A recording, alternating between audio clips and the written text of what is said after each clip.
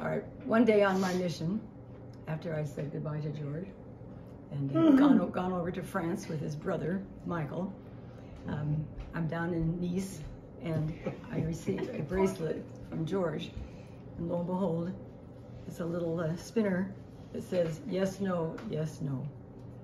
So I knew he was still interested. Oh, I told I gave away, huh? You did.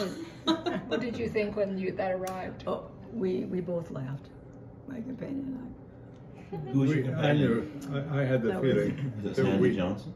we would get a chance to see each other again and You know, I get one last don't know shot where to I was. decide if we were really interested. It could have been That's Sandy all. Johnson, or it could have been um, Bobby Wilkins, or it could have been Marilyn Plowgen. I don't know where I was actually. I could have been in Nice, Geneva, Lausanne. Did you wear it? Strasbourg. No.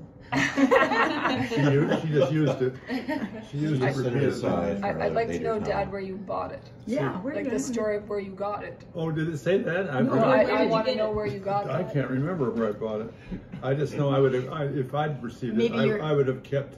You don't kept know where you records. bought I would that, have kept honestly. Statistics on it. Maybe your I would mother- have kept statistics to see whether yes or no Two dollars were, were special. significantly different over the long run. Did, did, Do did you remember where you got that, honestly? Did Rosemary? really Did don't. Rosemary buy this for you? I can't remember where I got it. I really don't know. I don't think it was Rosemary. Your mother? I don't know. Oh no, I.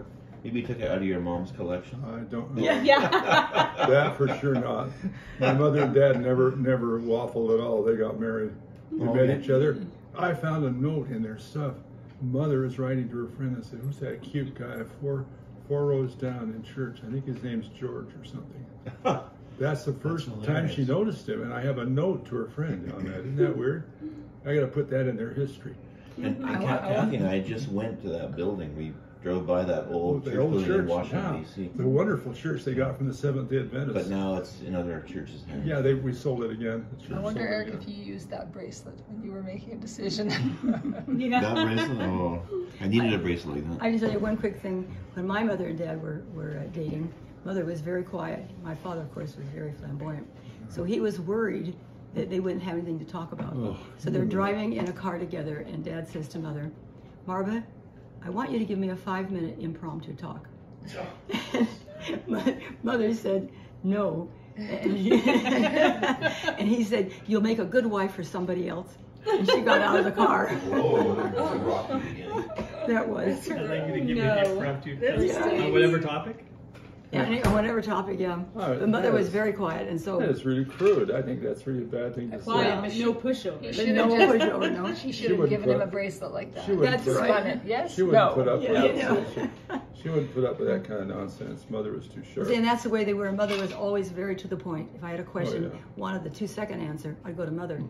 If I wanted a two hour long philosophical discussion, I'd go to my father. We come to the same conclusion, but they were How different. about giving us a two-hour different. philosophical discussion on on uh, sex?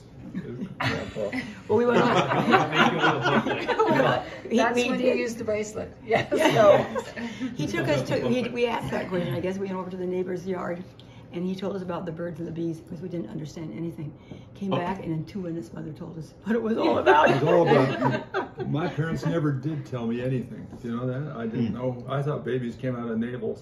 So what I did was uh, finally You I. I found books. I, I had to find a book in the library and read the whole dang thing. I educated myself. That's what happened. I was about twelve or thirteen.